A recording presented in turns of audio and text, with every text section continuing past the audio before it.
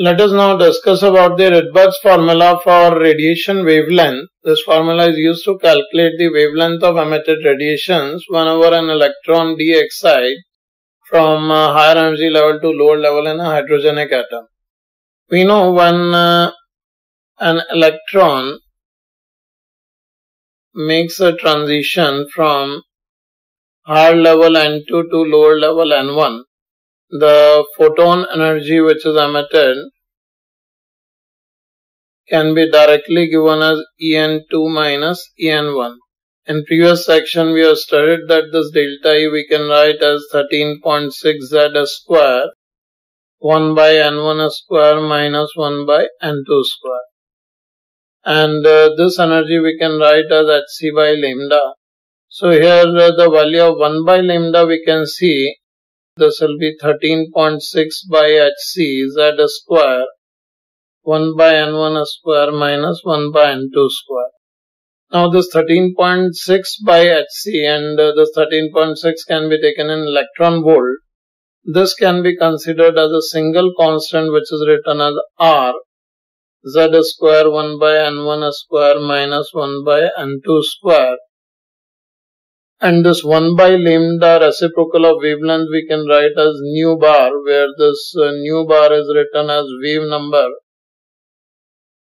As in this situation lambda is the length of a wave wavelength. So 1 by lambda will give us number of waves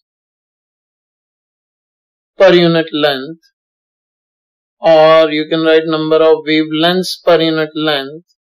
And this 1 by lambda and this written as wave number, the value of wave number or reciprocal of wavelength can be written as Rz square 1 by n1 square minus 1 by n2 square where uh, R is written as uh, Rydberg's constant which we already studied uh, in the analysis of Rydberg unit of energy. And uh, the value of R here we can write as 13.6 by Hc and 13.6 E by Hc we should write because here 13.6 is in the units of electron volt.